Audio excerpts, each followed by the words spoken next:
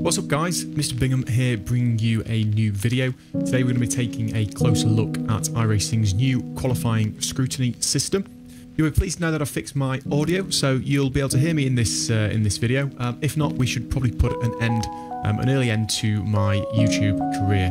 If you're new to the channel, then please do hit the subscribe button and head over to my Twitch channel, Mr underscore Bingham. Um, you'll find a link in the description uh, below. But without further ado, let's get into the video.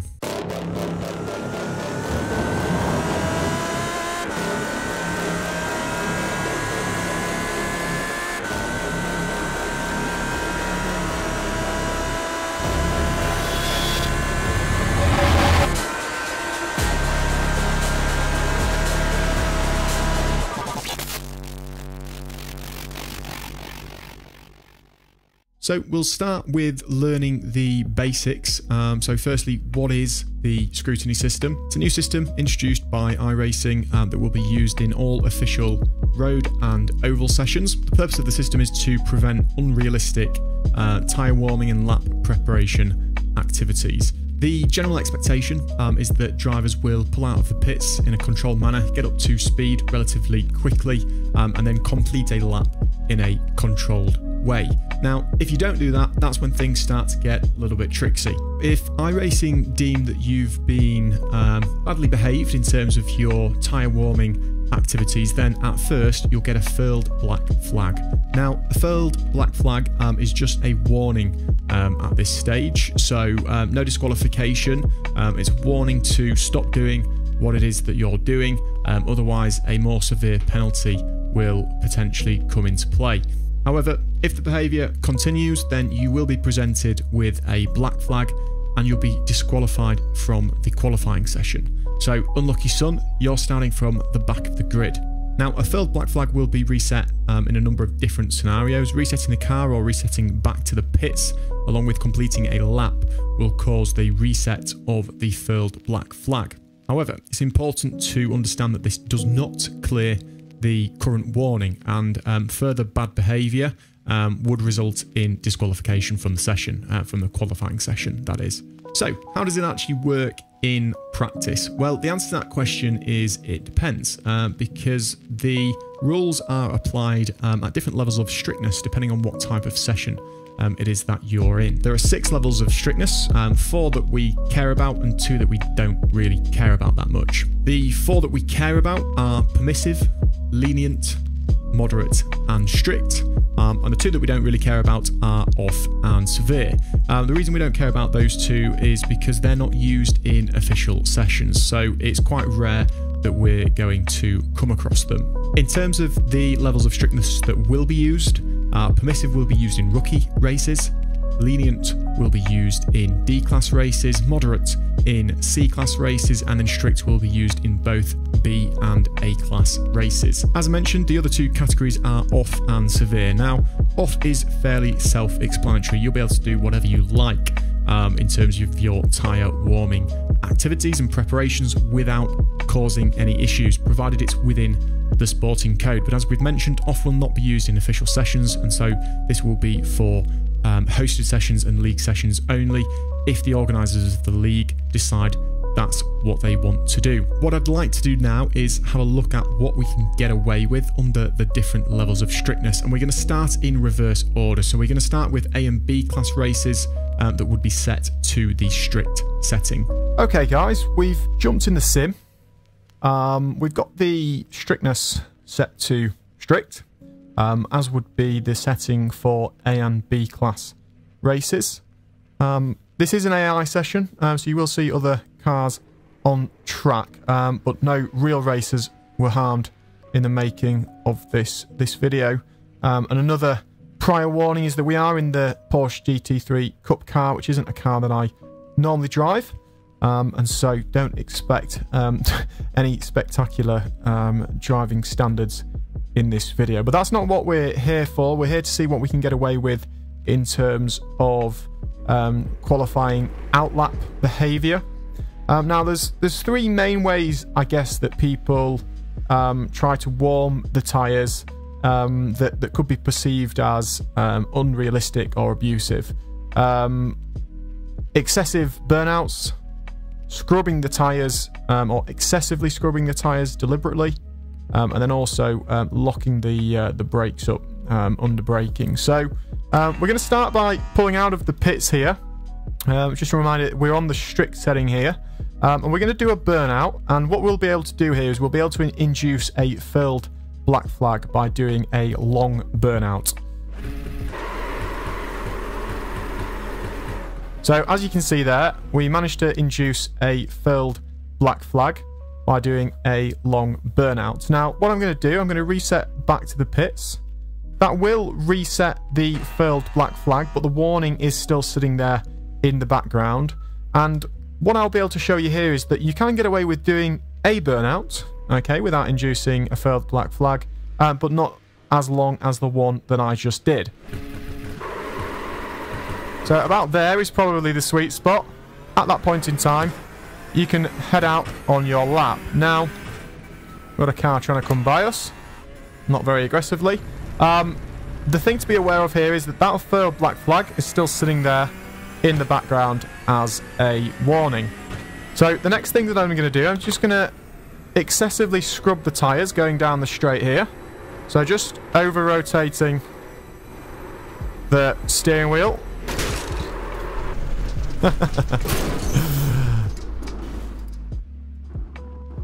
we might have to do that one again. And just a reminder, we've still got that furled black flag um, warning sitting in the background, which means that when we do get um, told off next, um, it will be a disqualification. So we'll start excessively scrubbing the tyres. So turning beyond the grip levels. And what you can see there is um, after maybe five or six weaves there, we've been disqualified.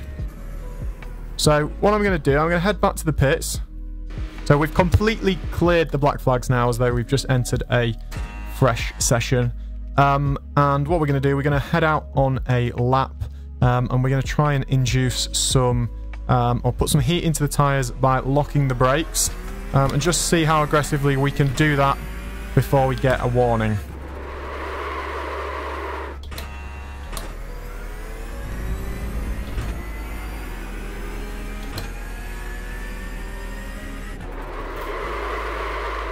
So we've got a warning the second time that we've done that there.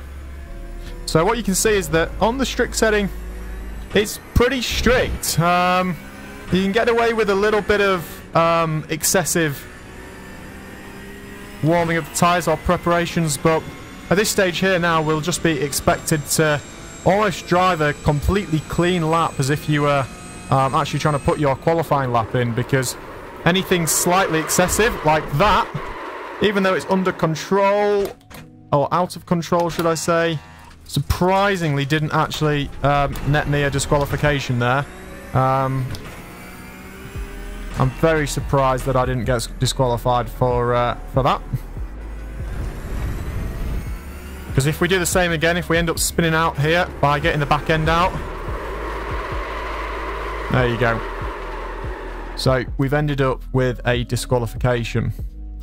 So really what that means, guys, is that um, the most effective way of warming your tyres up um, in a strict session really will be to do a, a short burnout coming out of the pits, scrub the tyres um, just a little bit, um, uh, and then really you've just got to go out and, and finish the lap. Um, which for me, this is a this is a good thing. I don't like unrealistic um, methods of warming the uh, warming the tires. Um, I wish people just went out and did their did their laps. That's that's how I um, do it. Um, short of doing a burnout out of the uh, out of the pits. Um, so for me, this is a, a good introduction to iRacing. Um, what I'm going to do now, I'm going to head into a moderate session, which will be applicable in C-class races, and we'll see what we can get away with in uh, in that session.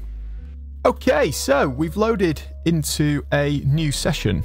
Um, and um, one thing that I um, failed to mention in the previous session is that when you're in a qualifying session um, or race session, you can come into the information tab and under race status, you'll be able to see the level of scrutiny that's applicable in that session. So as I mentioned, we've loaded into a moderate session here. Um, we're just going to follow the same process, see what we can get away with in terms of burnouts, scrubbing the tyres, and then um, braking and locking up the brakes.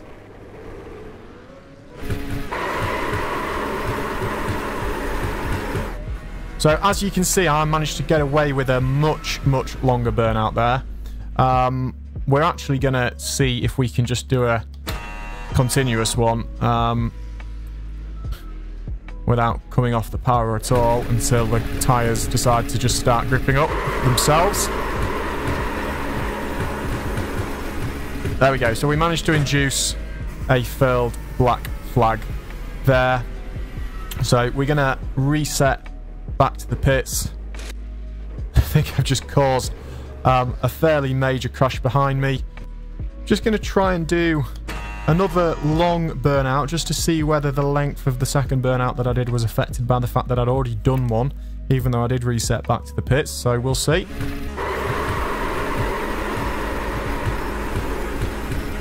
No, it wasn't. So yeah, you can get away with a fairly lengthy burnout in this moderate setting or under this moderate setting. So we'll see.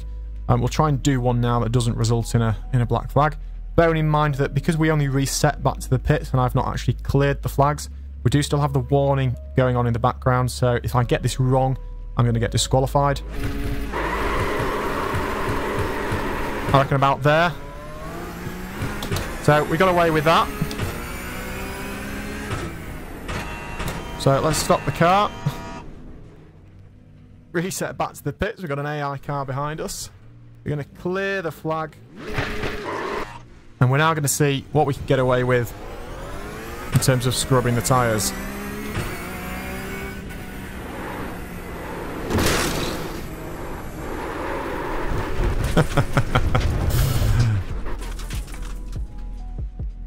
let's uh let's reset back to the pits again, eh?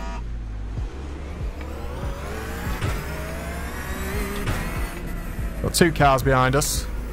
We'll let them go.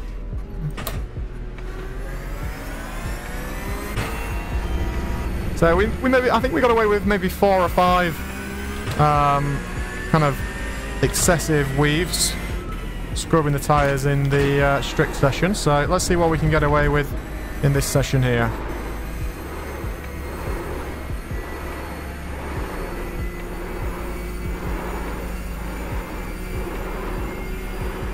That was about nine. So, as you can see, the, the leniency has increased. So, we're going to reset again and see what we can get away with in terms of locking up the brakes. So we're going to head out and we're going to try and lock up the brakes see what we can get away with. It's difficult to uh, keep the car in a straight line, or this, this car in a straight line when you do that, so... I'm not sure this is the most advisable tyre warming strategy.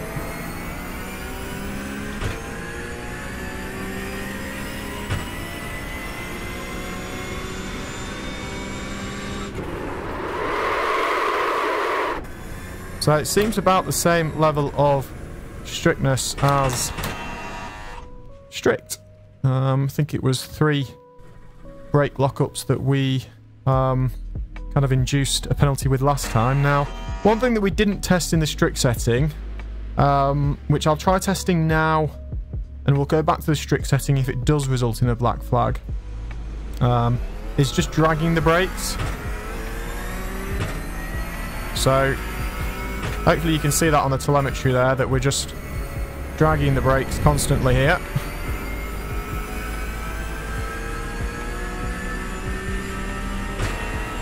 Now, I'm not sure whether iRacing actually simulates um, the brakes warming up, putting heat into the tyres or not. I know they certainly didn't used to. Um,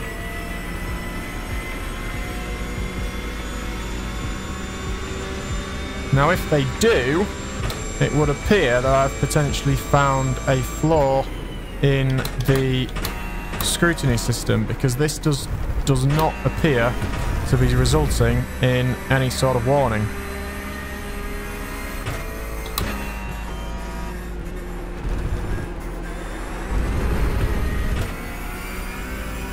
Nope. So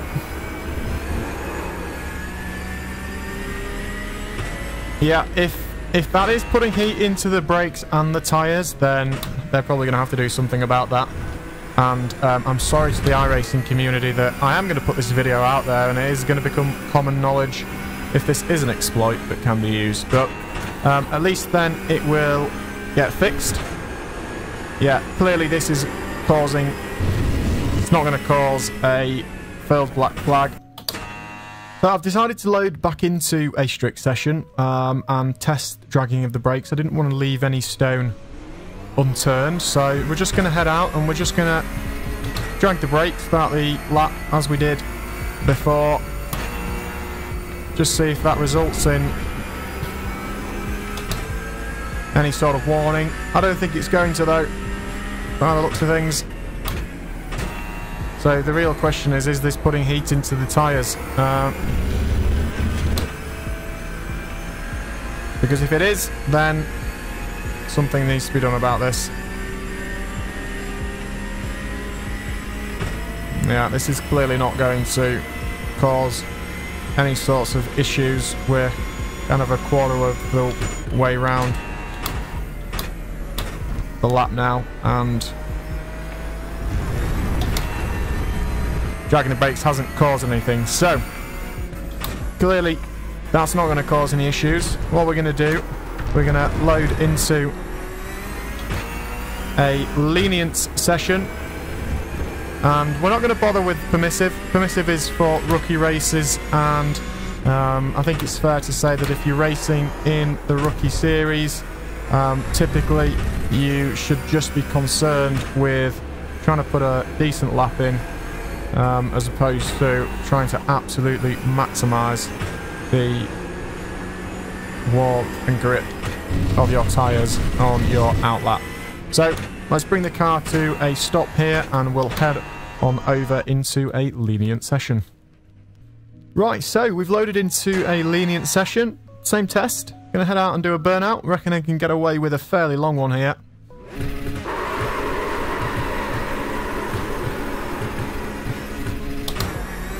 So the car's actually gripped up before we've been hit with any sort of warning. So what we'll see if we can do here is bring it to a stop and do another burnout. so, okay, so at least in the Porsche GT3 Cup, clearly you can do a long burnout, uh, but if you try and do a second one, you're going to get a slap on the wrist now in terms of tyre scrubbing, we're going a little bit faster than we were on the other lap, so let's just bring that, slow that down a little bit.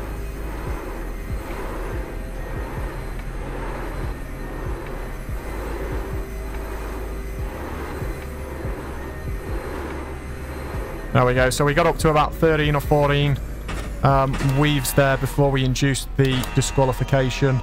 Um, I'm not even going to go out and try and lock up the brakes because um, it's going to allow me to do it so many times that I will end up spinning at some point, and I just don't think that that's um, a um, effective way of um, warming up the uh, the, the tires. Um, so we're going to bring the analysis to an end there. Well, that's it for today, guys. I hope you have enjoyed the video. Hope you found it useful. Um, as always, um, if you would do me the kindness of subscribing to the channel if you have enjoyed the content and heading on over to my Twitch channel, Mr. underscore Bingham, that would be most appreciated. Thank you.